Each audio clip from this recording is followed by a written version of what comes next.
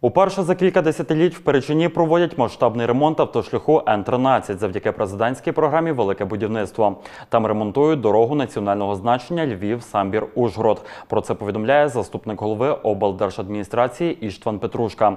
За його словами, і вдень, і вночі там працює підрядна організація ОНУР, з якою укладено договір на поточний середній ремонт всієї ділянки на суму 373 мільйони гривень.